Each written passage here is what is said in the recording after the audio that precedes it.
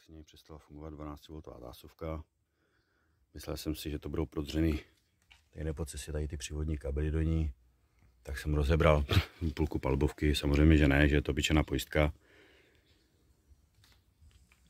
která je skovaná tady o spolisce pod takovým čaloněním. Je to zajištěný jenom takovýma caplíkama, Tady prostě jenom takhle vytáhnete ven, dolů, to nemá ani závit. Pojistky jsou tady takové kolípce, která je zajištěna takým otočným kolíkem.